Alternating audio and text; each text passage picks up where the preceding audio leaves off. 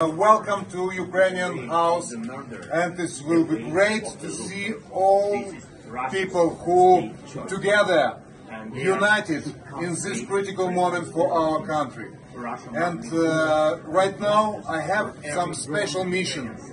Uh, great to see so many friends of our homeland, and uh, great to see big friend of Ukraine, Boris Johnson.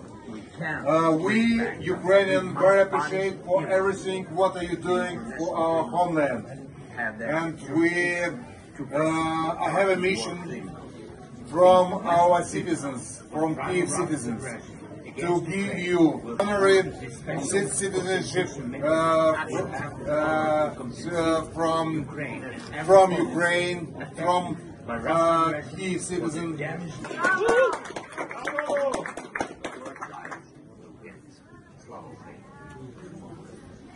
Can you fix, can you fix that off? Whoops. Thank you very, very much. Well, there you go. Is it, is it on?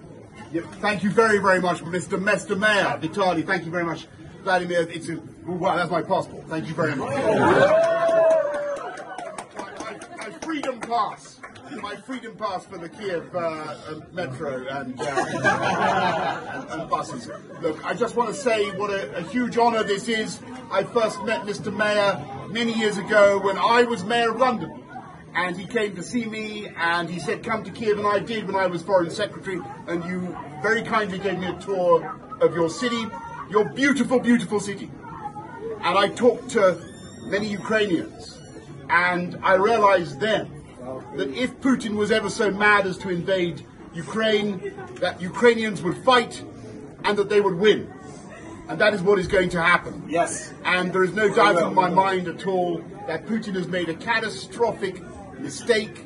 And the only thing that we in the Friends of Ukraine have got to do now is to continue our support for Ukraine with tanks, with planes, with whatever it takes, with financial resources until Ukraine wins and Ukraine is once again a free, sovereign, and independent European country. And that is what we all want to achieve. Hello, that, is what we're, that is what we're aiming for.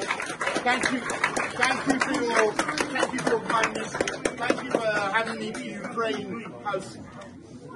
Ukraine everybody. Thank